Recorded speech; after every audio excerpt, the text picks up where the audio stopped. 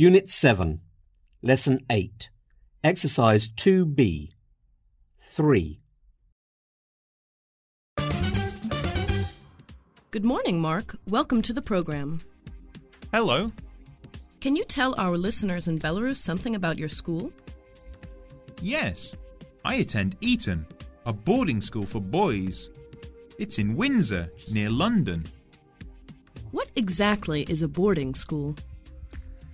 It's a school where all the students live.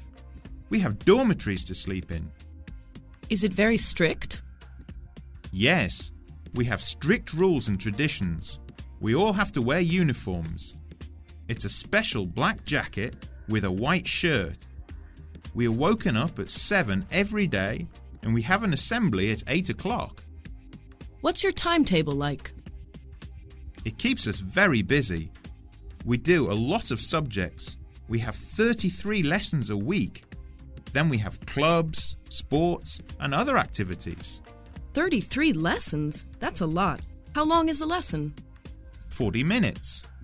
When do you have your lunch break? At 12:30 in the canteen called The Houses. Eton is a very famous school, isn't it? Yes, it has long traditions.